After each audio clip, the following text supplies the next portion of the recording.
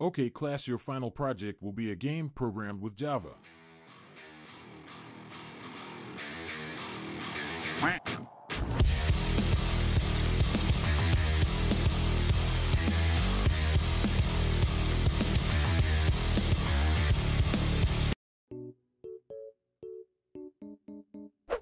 So, I had an assignment slash homework in computer science class where we had to make a game in Java. This was like the final project of the whole class and I made a game. However, we couldn't use any fancy game engines and we're only allowed to use Java itself, in addition a library called Zas, Whatever the fuck that's supposed to mean. The library, well, was supposed to take care of rendering, collisions and stuff like that, but I thought to myself, you know Java, you know game design, that isn't enough of a challenge. I mean, I would call myself a genuinely talented coder, so I made an entire game engine in Java just because. Well, in 2209 lines of JavaScript and around 20 hours of work later, we have a game that could have been made in just around 100 lines in Unity or 500 lines with the SAS library.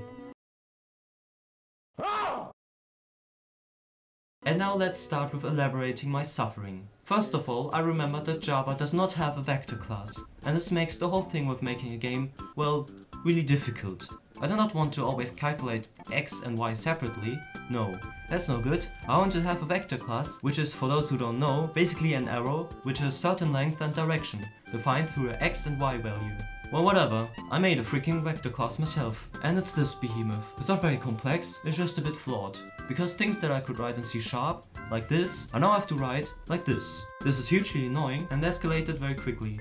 Hold on, that's not everything, because before we can even start making a game, there's so much missing. We need a camera object with movement, position, scale and screen check, a game object class which holds a renderer that renders an image according to its workspace position, scale and rotation in relation to the camera. Also, every game object has a collider, a physics manager, and of course logic for destruction. But that's definitely not all, no. We still need a random number generator because the randoms from Java are shit. We need an input system that collects all the necessary input from the player, a collider class which is either a circle or a rectangle, a collision manager with collision layers and all the logic to apply the transformation matrix of the object to the collider itself, then also calculating the collisions. A class which makes the game objects also physical, a particle system, a main function that initiates the whole process, and a system to display text. Alright, that's a lot, I know. Puts to show how much a game engine already takes care of for us. Also remember that I could have just used the provided library. And no, I will not show you how I made these things because it's way too boring and too much work. Also, who could possibly understand my mess pretending to be structured and well-designed code? Yay, now we can actually start making a game.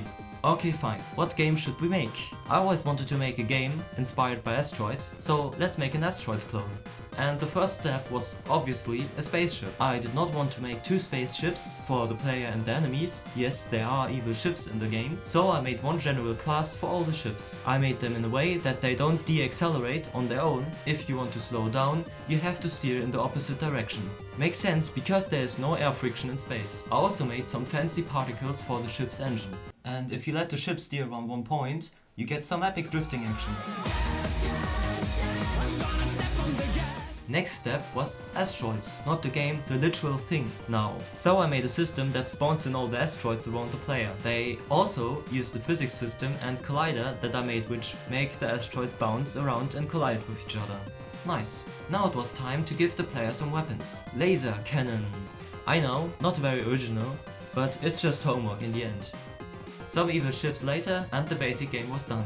But currently it is very boring, because we still don't have something like a goal or progression. That's when I made a score and an increasing difficulty curve. Based on the time that passes, the enemy count increases.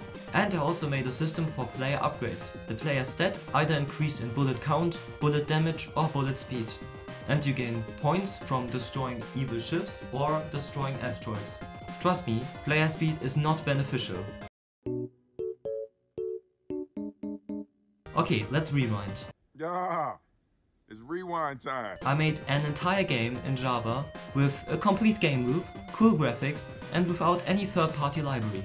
That required me to make camera object with movement, position, scale and screen check, a game object class which holds a renderer that renders an image according to its workspace. Okay, okay, you get the point. I have to get a good grade for this, right?